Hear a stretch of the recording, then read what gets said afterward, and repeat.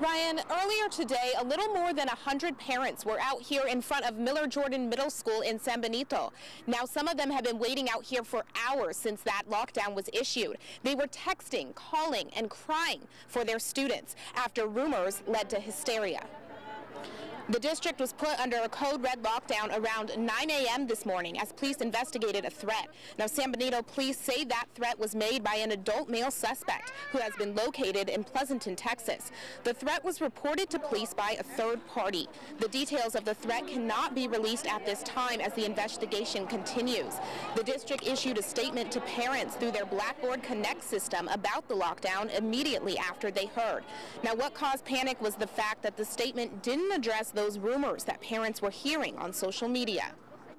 Scary, honestly, it was very scary because my nephews are in there. She said everything was okay, that they were just trying to make their job, you know, complete their job, but yeah, it was a big scare.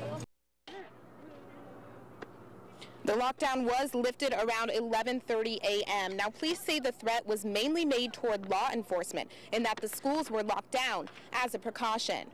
Now, coming up at 6, we'll take a look at why some parents felt like they were left in the dark and why the district is asking for parents' cooperation.